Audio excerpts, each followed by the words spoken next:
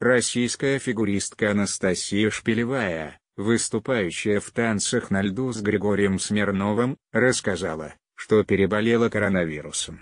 По словам 21-летней спортсменки, у нее возникли осложнения после того, как она попыталась возобновить тренировки после перенесенной болезни. Долгое время я, честно говоря, не верила в этот магический несуществующий вирус, о котором говорят все вокруг. Тем не менее я очень трепетно относилась к своему здоровью, носила маску, перчатки.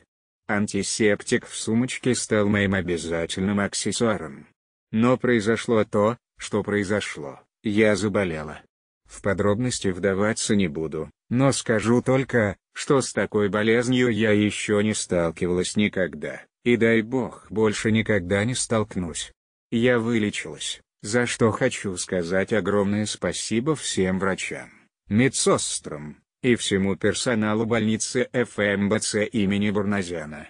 Докторам Александру Азерову и Ливану Циклаури, за помощь. Своему дорогому партнеру, тренерам и родителям, за колоссальную поддержку. К чему я это все пишу? Пожалуйста, берегите себя и своих близких, будьте здоровы и соблюдайте меры предосторожности. Всем тепла написала Шпилевая в Инстаграме.